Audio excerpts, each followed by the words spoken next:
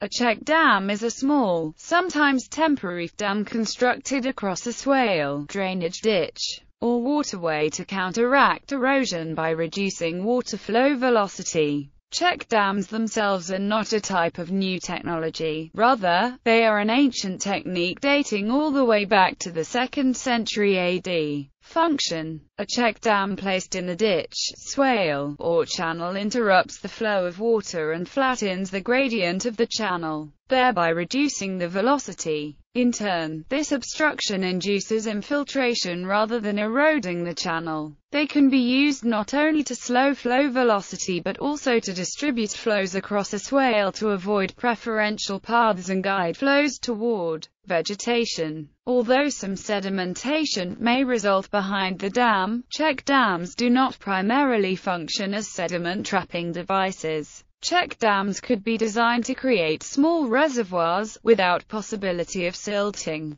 A self-desilting design was published in Invention Intelligence, August 1987, which while being permanent, would also remove silt as it is formed, keeping the reservoir capacity maximum. The design envisages an awning, going very near the bottom level, extending to the width of the dam, and embedding into the sides. When freshets occur, the silt is automatically carried over to downstream, keeping the reservoir clear. Applications Grade control mechanism check dams have traditionally been implemented in two main environments, across channel bottoms and on hilly slopes. Check dams are used primarily to control water velocity, conserve soil, and improve land. They are used when other flow control practices, such as lining the channel or creating bioswales is impractical. Accordingly, they are commonly used in degrading temporary channels in which permanent stabilization is impractical and infeasible in terms of resource allocation and funding due to the short life period,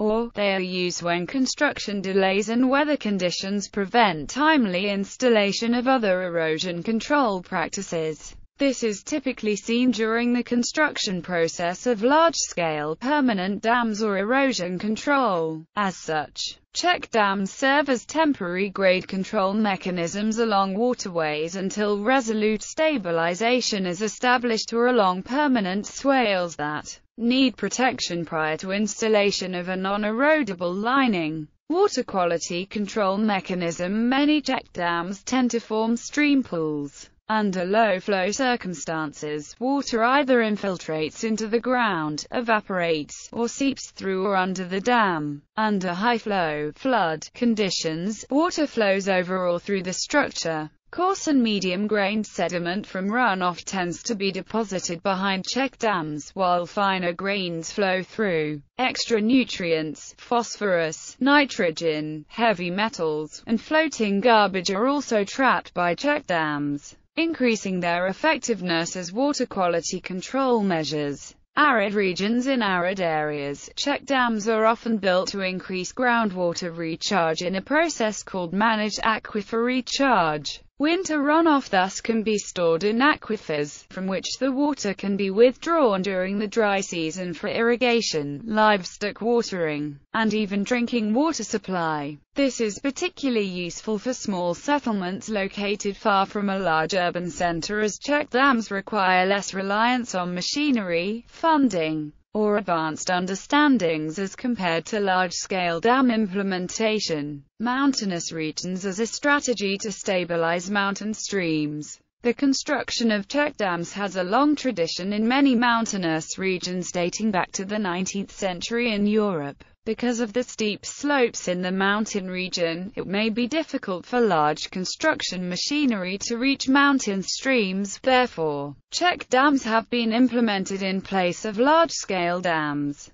Because the typical high slope causes the flow velocity to move faster, a terraced system of multiple closely spaced check dams is typically necessary to reduce velocity and thereby counteract erosion. Such consolidation check dams, built in terraces, attempt to prevent both headward and downward cutting into channel beds while all also stabilizing adjacent hill slopes. They are further used to mitigate flood and debris flow hazards. Design considerations site before installing a check dam. Careful inspection of the site must be undertaken. The drainage area should be 10 acres or less. The waterway should be on a slope of no more than 50% and should have a minimum depth to bedrock of 2 feet. Check dams are often used in natural or constructed channels or swales. They should never be placed in live streams unless approved by appropriate local, state and or federal authorities. Materials Check dams are made of a variety of materials.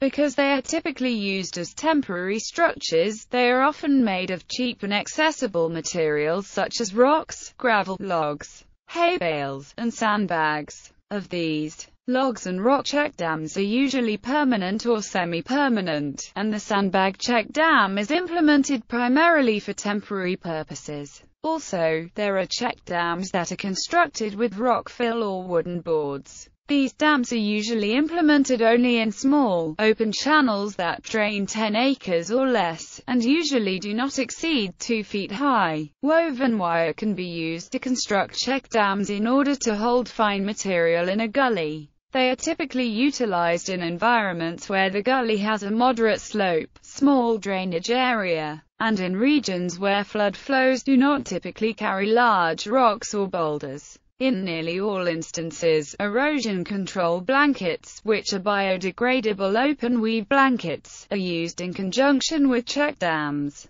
These blankets help enforce vegetation growth on the slopes, shorelines and ditch bottoms. Size A check dam should not be more than 2 to 3 feet high, and the center of the dam should be at least 6 inches lower than its edges. They may kill grass linings in channels if water stays high or sediment load is great. This criteria induces a weir effect, resulting in increased water surface level upstream for some, if not all flow conditions. Spacing in order to effectively slow down water velocity to counter the effects of erosion and protect the channel between dams in a larger system. The spacing must be designed properly. The check dams should be spaced such that the toe of the upstream check dam is equal to the elevation of the downstream check dam's crest. By doing so, the water can pond between check dams and thus slow the flow's velocity down substantially as the water progresses downslope.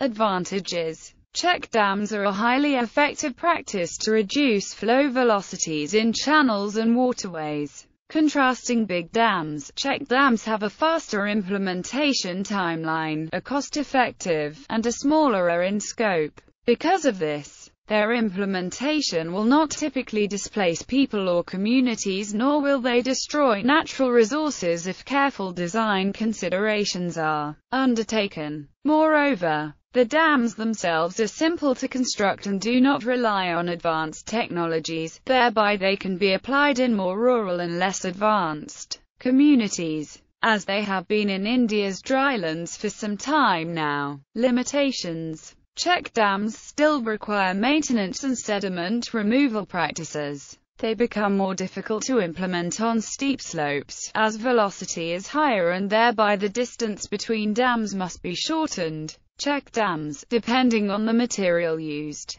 can have a limited lifespan but if implemented correctly can be considered permanent, though not encouraged. Maintenance Check dams require regular maintenance as they are used primarily as a temporary structure and thereby are not designed to withstand long-term use. Dams should be inspected every week that it is sited in the channel and after every large storm. It is important that rubble, litter, and leaves are removed from the upstream side of the dam. This is typically done when the sediment has reached a height of one half the original height of the dam. Further, maintenance is required when removing the check dam altogether. In order to ensure the future flow is not adversely altered, the check dam must be fully removed including any parts that may have been dislodged and washed downstream or any newly developed bare spots where the check dam once was situated.